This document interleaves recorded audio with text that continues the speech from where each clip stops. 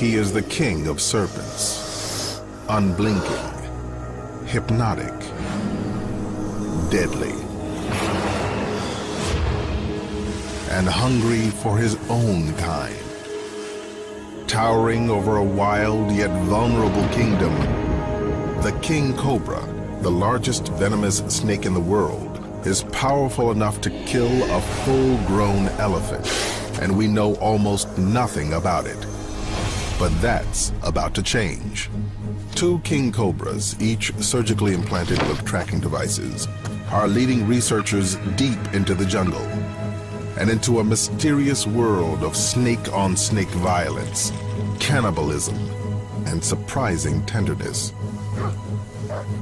Follow these pioneering serpents into their quickly disappearing realms, revealing secret lives no human has ever seen before.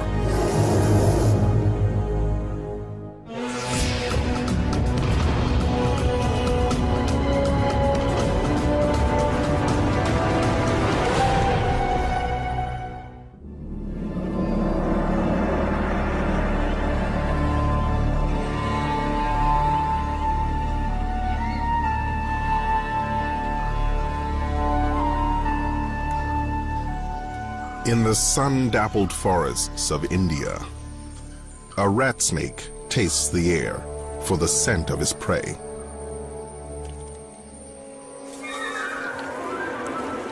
So intent is the rat snake on his victim, he fails to notice the king.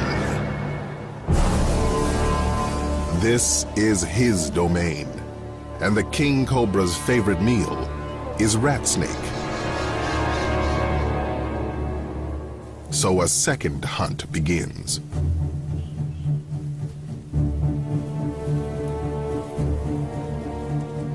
The rat snake sees his mistake, but it's too late. The hooded hunter looms, and the rat snake cowers. The king seems to contemplate his meal. A mistake. There's an intruder in the kingdom. The rat snake uses the distraction to make his escape.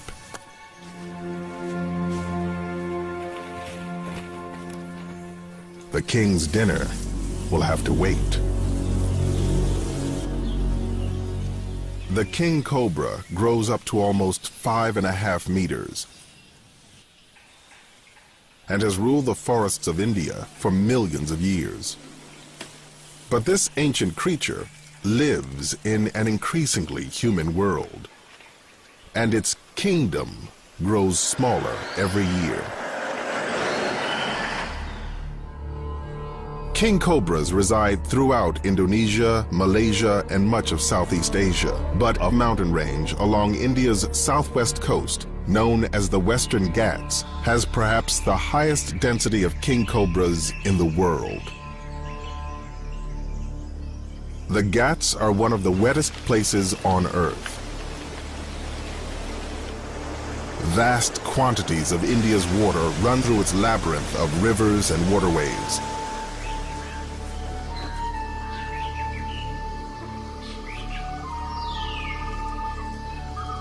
Endless water providing for limitless life. And countless species.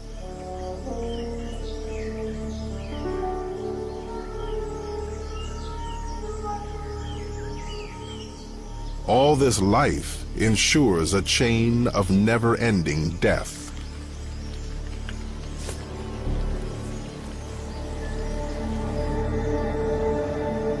But it's the king cobra that rules these forests.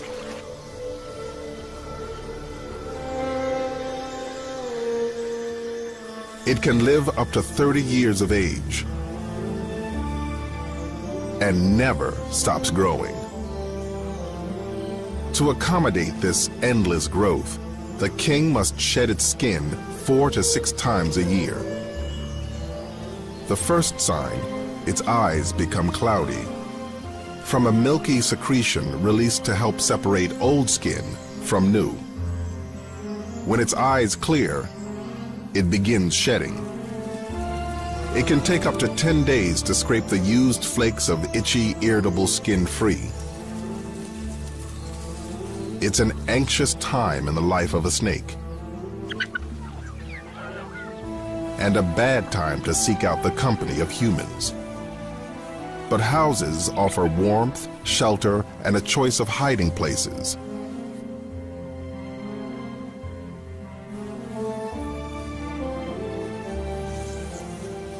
It seeks only solitude, but packs enough venom to kill a human many times over, and might defend itself if disturbed,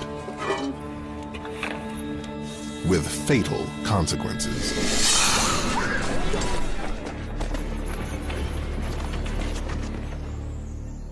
Fortunately, the villagers around here revere the king and know who to call when one takes up residence. Okay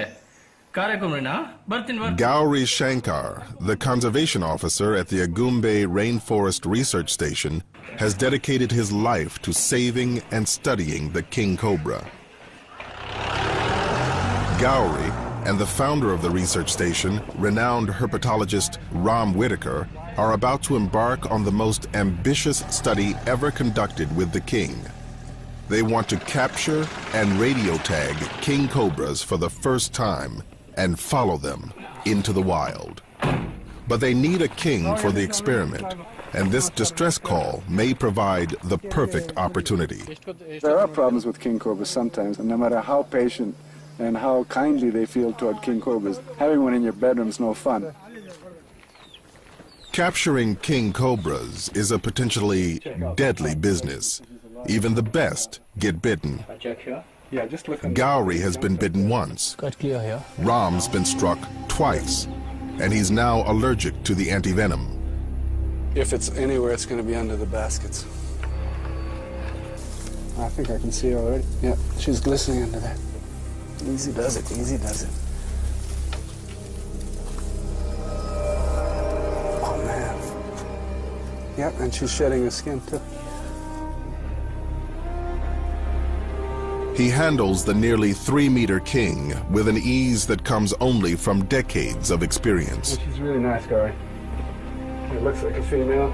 They know by the size of the head and the coloring of the skin that this king is actually a queen. And let's get these shots.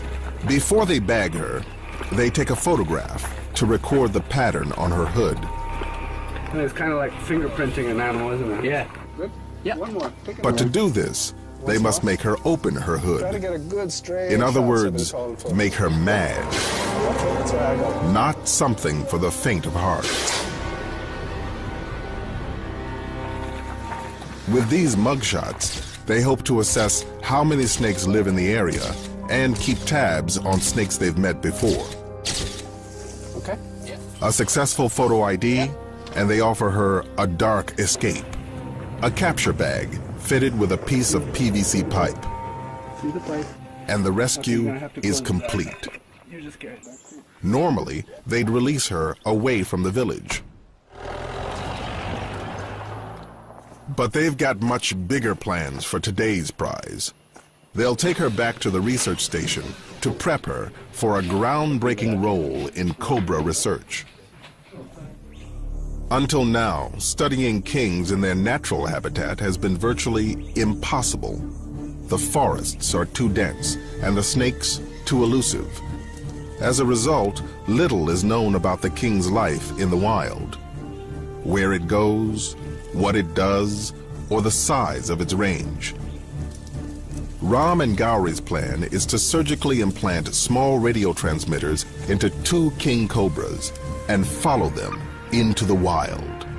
Because these little understood animals are now endangered, this research project is more important than ever.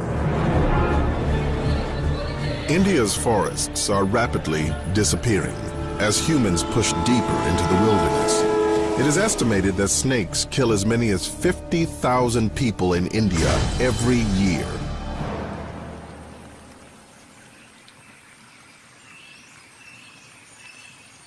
While the king cobra is the largest venomous snake in India, there have been only four reported deaths in South India in the past 20 years. And though it has more venom than any other snake, only 10% of the people they bite die. Because kings can control how much venom they release. Muscles around the venom glands contract, squeezing calculated amounts of neurotoxins through its hypodermic fangs and into the victim. Or it can release none at all, which is often the case with humans. After all, venom is valuable. And the king is a prolific killer of other snakes. The king cobra's diet consists almost entirely of serpents.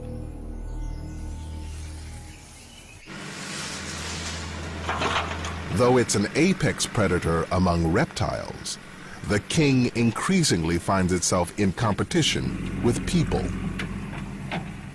As India's burgeoning human population continues to grow, farms and plantations carve deeper into the forests of the Western Ghats, and wandering kings often find themselves in unfamiliar territory. Now Gowri and Ram have been called out to a betel nut plantation where a local snake handler has trouble by the tail. It's a king who has taken refuge in a hole at the base of a tree, and the base of the tree is at the top of a cliff. I mean, the danger factor is just too much, man. It's never mind a venomous snake, but how about a 40-foot drop to you?